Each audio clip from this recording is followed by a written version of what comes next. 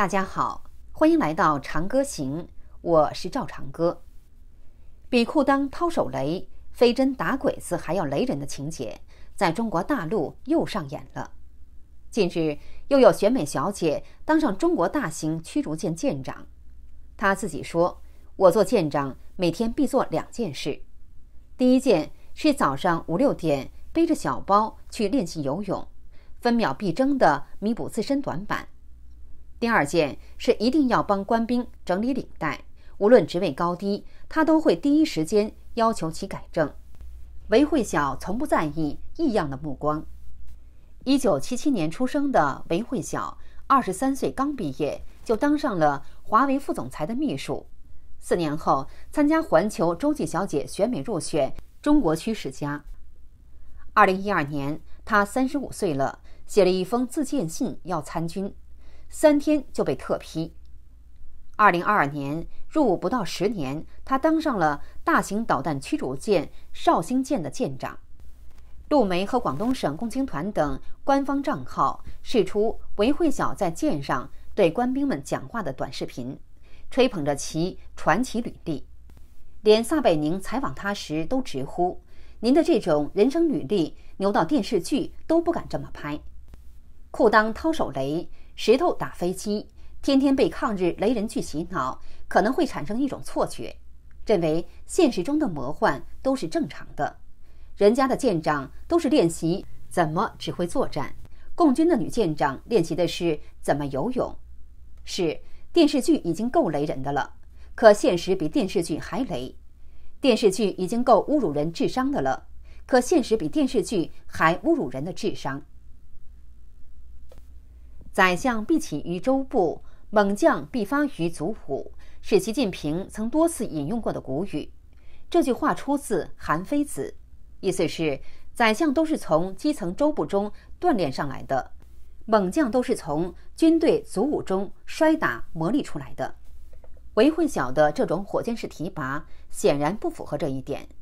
当媒体问韦慧晓，作为中国海军史上首位女舰长有什么感受？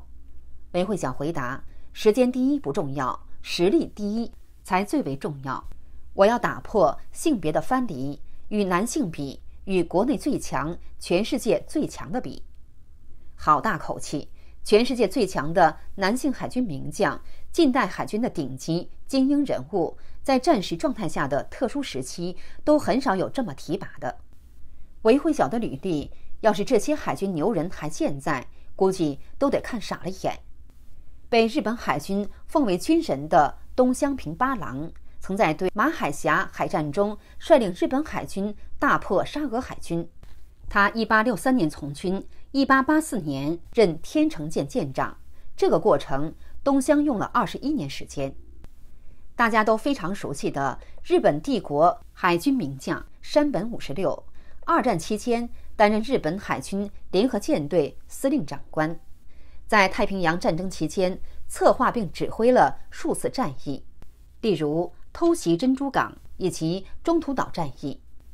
一九零四年毕业于江田岛海军兵学校。一九二八年，山本首次指挥军舰，成为五十零号轻巡洋舰的舰长。此后又调任赤城号航空母舰舰长。从军校毕业到当上舰长，山本用了二十四年时间。二战中，美军人气最高的将领之一，因作风勇猛而获绰号“公牛”的哈尔西，因为人随和，也被称为“水兵”的海军上将，深受部下爱戴。哈尔西的父亲老威廉·哈尔西是美国海军上校，出身海军世家的哈尔西，一九零四年毕业于美国海军学院，因为赶上第一次世界大战。一九一八年担任少号驱逐舰舰长，即便有海军世家背景，还赶上了世界大战。从军事院校毕业算起，到升任舰长，哈尔西也用了十四年时间。美国五星上将、海军将领尼米兹，他的晋升比较特殊。美国有十艘一级航母是以尼米兹命名的。一九零一年，尼米兹进入美国海军学院学习。当时适逢美国海军进行扩建与现代化，为解决战争中士官人数不足的问题，海军学院录取人数不仅比往年多，连学员毕业时间也提前了。当时因日本在日俄战争未获赔偿，复员军人大量进入美国劳工市场，使日美关系恶化，产生战争危机。罗斯福因而调遣大西洋部分舰队进入太平洋。在这种情况下，尼米兹于1907年受命指挥了迪凯特号驱逐舰。即便是光速提升的尼米兹，也是正儿八经的海军出身，而且尼米兹有非常强的专业背景。他以研究潜艇为主，也是美军中柴油引擎技术的专家。跟这些世界近代海军史上的风云人物相比，韦慧晓的履历不是神奇，而是奇怪。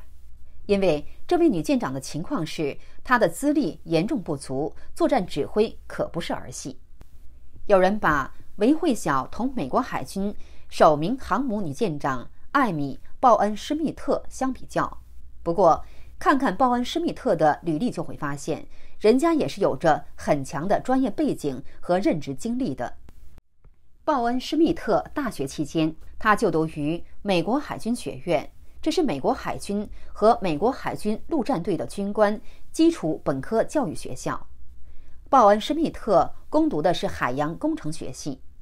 就在他毕业的前一年，国会解除了女性军人担任此类职务的禁令。这项法案让鲍恩·施密特成为首批在战斗舰艇上服役的女性舰员。二零一八年，鲍恩·施密特在接受采访时坦率表示。这项法案彻底改变了我的生活。随后，鲍恩·施密特成为了一名海军飞行员，被部署到波斯湾，随赖特四十五反潜直升机中队在约翰杨号驱逐舰上服役。他后来还担任过飞行教员、部门主管和多支直升机中队的指挥官，有着超过三千小时的飞行时数。尽管具有很好的专业背景和职业经验，鲍恩·施密特一路攀升到舰长也用了近三十年的时间。他是最能体会在海军服役的女性们所面临的困难的人。执掌舰长一职的鲍恩·施密特形容，这份工作几乎是世界上最令人难以置信的。所以，难怪消息一出，人们纷纷写说选美小姐当舰长。中共这是要武统台湾还是武统台湾？坊间传说，韦慧晓之所以能获得火箭提拔，是因为她是红三代。韦慧晓是广西百色人，中共的开国上将韦国清就是广西人，参加百色起义，从瑞金到长征，到八路军、新四军，到山东野战军、华东野战军，到驻越南军事顾问。到广州军区第一政治委员，广东省委第一书记，最高职位是总政治部主任，中共中央军委副秘书长。据称，韦慧晓的父亲也在军中任要职，不过官方资料从未提及他是否出自军人世家，这塑造称他是大山里长大，放弃百万年薪从军。不管这个说法是不是真的，但可以确定的是，不会打仗的人带兵打仗。将造成严重的后果。历史上，赵国名将赵奢之子赵括纸上谈兵，致四十万赵军大败于长平，赵军主力全军覆没。一九八五年，中共名将粟裕之子粟荣生以红二代身份作战指挥。粟荣生本来就是新提拔才一年的二零零师师长，战前靠疏通高层，火箭提拔当上了六十七军的参谋长。想借着战争有机会晋升得更快，来个一步登天。不过，他的这趟镀金之旅却成了幺九九师官兵的悲情之旅。到了前线的粟荣生立功心切。当时中越双方是越军在山上据险而守，中共军队在山下伺机而动，态势是敌在暗处，我在明处。粟荣生却下令不惜一切代价拿下越军山头。一仗下去，数百士兵战死，军部内谁都不能提意见。老师长郑广臣反对粟荣生不顾一切的冲锋命令，劝粟荣生得爱护战士生命。苏荣生就到军长处告郑师长的状，说其厌战、畏战，一番操作，郑广臣的指挥权被解除，苏荣生成了指挥者，部队上下都得听他的，在他的瞎指挥下，仗越打越糟，人越死越多，而且谁都不能提意见，如果提意见，第二天就会派到前线冲锋。这种情况下，全军战士对苏荣生怨气极大。一天。